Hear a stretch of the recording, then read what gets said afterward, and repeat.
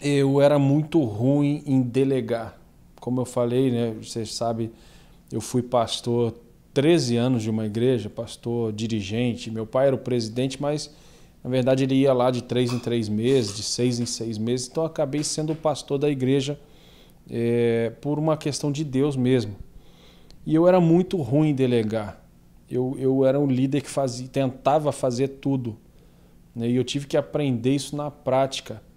E uma vez, quando eu finalmente aprendi isso, eu lembro que eu falei com meu pai, pai, eu, eu sou ruim de delegar. E aí aquela coisa de pai, né? De patrão de pastor, cara, eu sempre te falei isso, sempre te falei isso. E meu pai falou uma coisa para mim que eu nunca esqueci.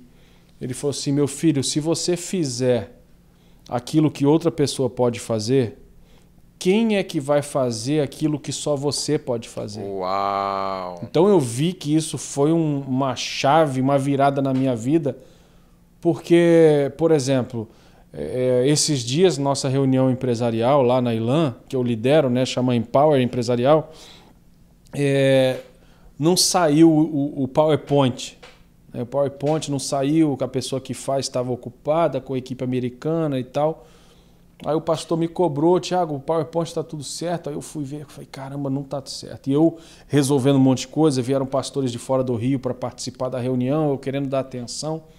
Aí eu olhei para um lado, olhei para um outro, tinha um, o Ricardinho, né? um garoto deve ter uns 16, 17 anos.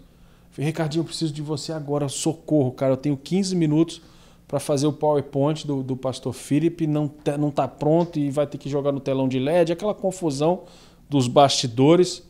Ele, não, pastor, isso aí é mole. E o tal do Ricardinho sentou no computador da igreja e fez um PowerPoint em 10 minutos coisa que talvez eu faria em duas horas, né? E aí ele trouxe quatro fundos diferentes. Agora só falta o senhor escolher o fundo que o senhor quer. Isso aqui eu acho que é mais empresarial. E eu olhei para o fundo, olhei para o PowerPoint, olhei para o Ricardinho, eu falei, meu Deus do céu. Então esse foi um erro meu, sabe, que eu tento não cometer.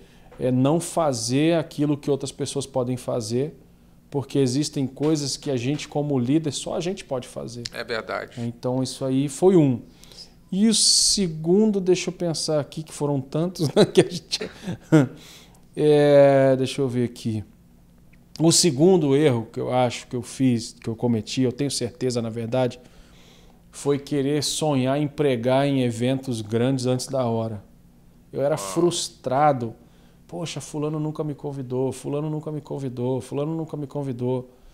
E isso me gerava uma tristeza, sabe? Uma coisa Poxa, meu pai não me indica, meu pai não podia me colocar em lugar e outro.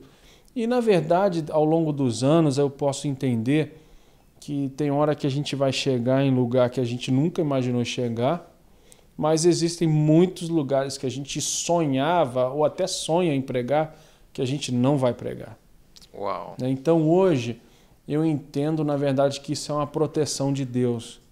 Porque o que eu estou fazendo com pastores, junto com o Bispo Maurílio e outros amigos, você tem nos ajudado tanto, talvez eu não teria coragem de falar certas coisas se eu tivesse entrado em alguns lugares. Na hora errada é, na hora e da errada, maneira errada, talvez, errada. né? Até é. isso você está falando, rapaz, que coisa fantástica é. que o seu pai ensinou, né? É. é Poxa, meu pai é, não, não, não, me indicava, ou eu poderia ter me indicado. Ele estava querendo que você construísse a isso. sua história, isso. né? E conquistasse isso. a sua história. Isso é maravilhoso demais. É. Top, que que é isso? Muito bom. Então, beleza, ó, não cometa o erro de centralizar, ser uhum. centralizador demais. Anota isso daí, porque eu anoto. Eu estou sempre conversando sim, com sim. pastores e eu pergunto, aonde você errou? Porque aí eu vou lá e anoto, uhum. e aí uhum. eu vou me policiar nisso daqui. Eu vou revelar um, um segredo meu aqui, gente. Eu até falei para o pastor Luciano Subirá isso. Eu sempre brinco o seguinte, e virou uma regra mesmo, de fato. Foi quando você tiver com alguém que você admira, em vez de tirar uma foto, faça uma pergunta. É verdade. Né? E aí até o Luciano falou assim, cara, legal, mas pode tirar foto também, mas faz a pergunta. Eu falei, ah, então vindo do Luciano Subirá, eu vou tirar a foto também. Mas, na verdade, a gente às vezes acaba tietando pessoas que a gente admira, e é normal. Tem pastores que hoje eu tenho o privilégio de, de, de caminhar juntos, que eu falo para eles, por exemplo, pastor Abe Uber. Eu falo, pastor, eu olho para o senhor como uma criança olha para o Homem-Aranha, né? Tipo assim, e é hoje poder estar tá mais perto, poder ter o contato e falar com ele no WhatsApp, ou enfim. É muito normal a gente querer tirar uma foto, querer postar uma foto, querer mas uma pergunta. É verdade. Ela vale muito mais do que uma foto. É né? verdade. E uma pergunta boa para se fazer isso, é: isso. aonde você errou? Isso.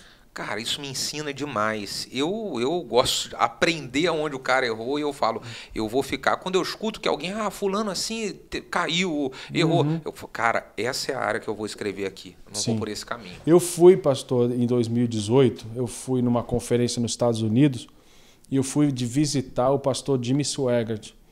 Ele com 83 anos orou por mim e tal. Foi, foi muito legal. Nossa. Foi um privilégio assim absurdo, né?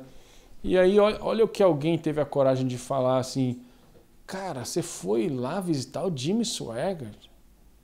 E eu falei, gente, se um pastor de 83 anos não tiver alguma coisa para me ensinar, eu, eu desisto de ser pastor. Que que é isso? Né? Então, assim, foi legal, ele, ele orou por mim, profetizou tudo que eu estou vivendo hoje. Uau! Sabe, me chamou para trabalhar lá na equipe dele. Eu balancei porque seria muito confortável financeiramente. E eu falei, pastor, Deus me chamou, eu tenho uma voz no Brasil. E eu não fui chamado por Deus para ser a sua voz no Brasil.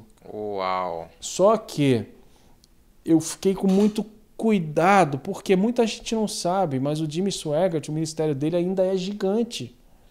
Mas a gente, a gente mata o cara por causa de um erro ou, ou um pecado, e não, sabe? Ninguém quer saber se houve perdão, ninguém quer saber se o ministério ainda existe. Eu fiquei chocado ao visitar os bastidores, até porque eles queriam me entrevistar né, para um possível emprego. O Ministério de Jimmy Swaggart, que muita gente acha que acabou, arrecada 5 milhões de dólares por mês ainda. Uau! Por mês. Aí eu fiquei pensando assim, é uma estrutura fenomenal nos Estados Unidos e um cara que muita gente talvez não sentaria para conversar. Uau.